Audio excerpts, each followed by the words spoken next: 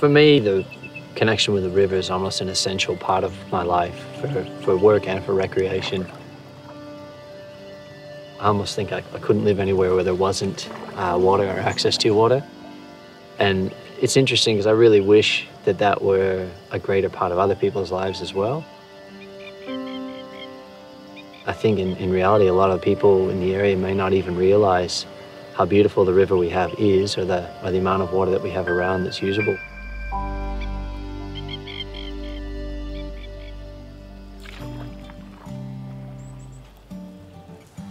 River care to me is maintaining the, the river corridor and all the parts of it that are essential to its health, from the, the actual river channel to the riparian zone on the bank to the floodplain and beyond in its entire catchment. We get to work in some of the most beautiful places in the Shire. We're very lucky to be able to do that and also work with like-minded members of the public who volunteer their time to come and help us restore the bushland and along the riverbanks. I look, our rivers are really important in our shire. We are a water shire, we're a drinking water shire. It's great recreation facility. It's important for our farmers, it's important for our residents. You may have heard of Bush Care. Uh, this River Care program is, is about getting community support. A lot of birds, a lot of animals, a lot of our mammals, a lot of our animals that our shire is known for use our rivers as corridors. What we're trying to do here is to regenerate them back to its natural condition. Yeah, we've got like over a thousand plants uh, here to go in uh, to replace a lot of uh, the, the weeds that were here before. And we're doing our bit to improve the catchment. The planting will help with soil erosion, it'll help with water quality. Shading the river will actually help with fish breeding and it'll actually be habitat for frogs.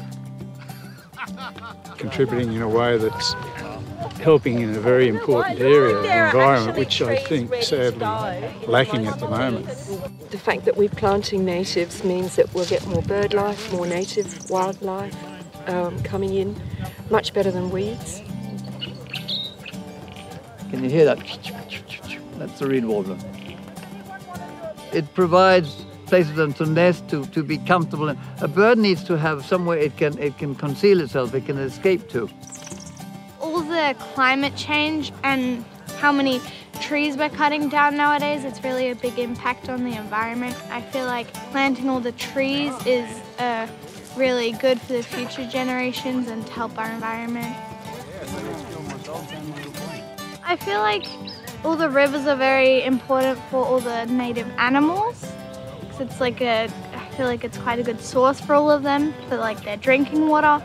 And by planting these trees, by helping the water, it's helping all the animals as well. Oh, I see. Almost everybody should be planting at least one tree because it's such a big help for the environment nowadays.